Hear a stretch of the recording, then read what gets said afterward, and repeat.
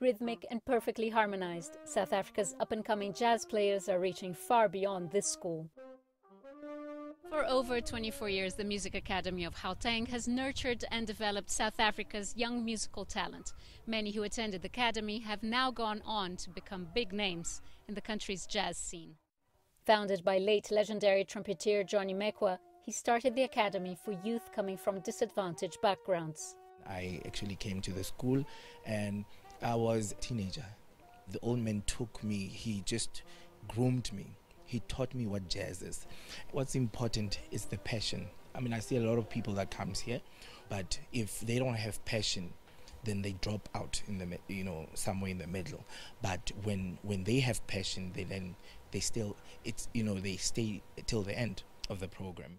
Through the years, the Academy has hosted numerous overseas jazz professors who conducted workshops and masterclasses to students. As long as they as they practice and as long as they go to school and practice uh, they can stay here they get food they get a uh, place to sleep. And so i met many many kids uh, or youth who start to play here and then i met them after some years i met them at the university of cape town or at the university of kwazulu-natal in durban. And I, I recognize how big this chance is so i want to be a part of this of this chance giving institution Johnny's passing last year left a void in the local jazz fraternity. It has been a sad moment when we lost our head of the school, um, Dr. Johnny Mekoa, because he is also one of the very highly influential person in our lives because he has taught us how to play, not just only playing, but discipline. But his teachings and the opportunities he gave the youth will live on through his students. I decided to take a trumpet to further studies and study trumpet. As I'm studying trumpet, I also study music.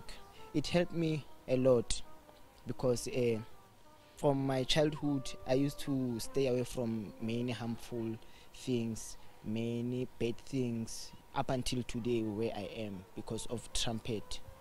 Took me away from street. It took me away from bad things that was happening back then, and it also taught me a discipline it also taught me love because music, you can't do music if you don't have love.